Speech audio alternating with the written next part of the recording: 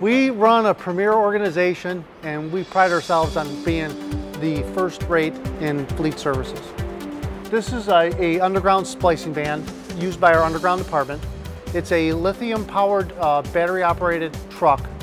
Our crews are able to work in the field running everything they need to do from their lights to their pumps to actually to their heating and air conditioning system for the manhole and able to operate for approximately six hours on battery powered only without running the truck at all, keeping the neighborhoods quiet and keeping our crews not having any, any emissions at all going into the, into the atmosphere.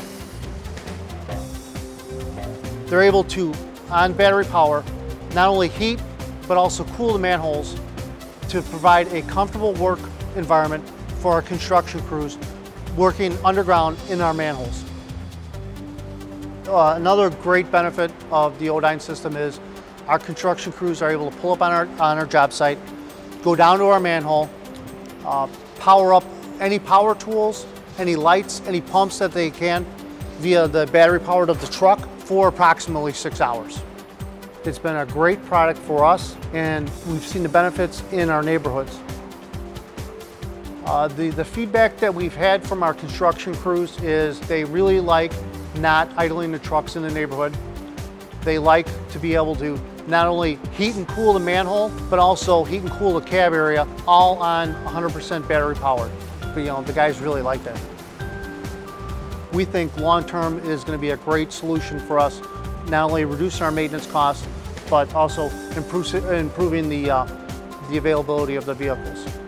The great benefit of this product is once the crews are done, they're able to come back to our home location, plug it in, in approximately eight hours, the batteries are fully charged, and we feel that this is the best technology on the market for us.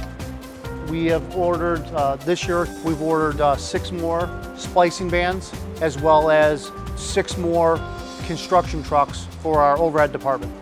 Odyne has been a, a great partner in not only sharing the information, but also providing uh, insight on what we can improve on in the future.